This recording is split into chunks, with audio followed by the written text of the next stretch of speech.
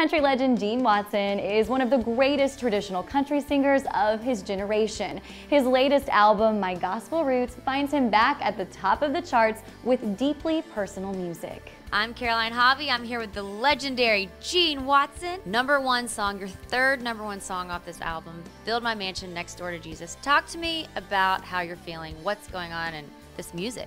I dedicated this CD to my mom and dad, but I did it for all the fans that have been asking for another gospel CD. I had one out about 10 years ago or so, and I was privileged enough to get to bring two of my sisters up to Nashville and sing harmonies with me on it. They had never been in a recording studio before, and it was all great, and I was thrilled.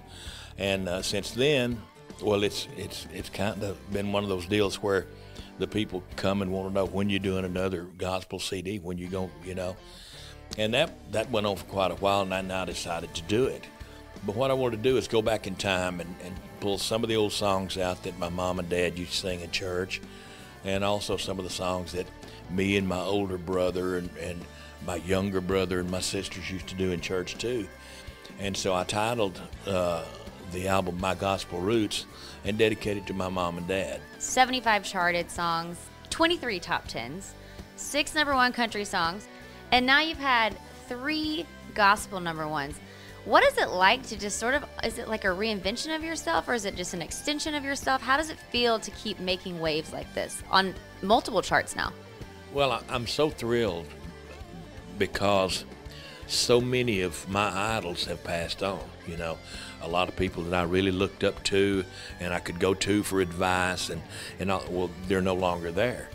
And now I find myself uh, in a position where I have people coming to me asking me what to do and what did you do, what works and what don't. And so. How does that feel? And who have been some of those people that have come to you? Well, a lot of the new artists, you know, that are just in the prime of things, and, and all I can do is just tell them, you know, I'm not a part of what works today, you know. Uh, I came out in, in, in my day and time you had to play these places, you know, and, and I'm from the great state of Texas. Yeah, oh yeah? yeah? Well, well, you've heard the old stories, the old timers that had screen wire up in front of the stage and everything, you know.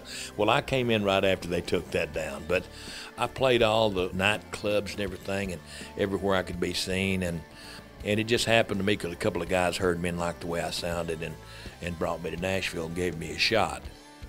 Thanks so much for watching this week's Nashville Insider feature. If you liked what you saw, be an insider and hit the subscribe button. Also check out our friends Summer and Bray on their YouTube channel. And if you want to see full episodes of Nashville Insider, go to countryroadtv.com and use the code INSIDER when you sign up to get a free month. Thanks again for watching. We'll see you next week.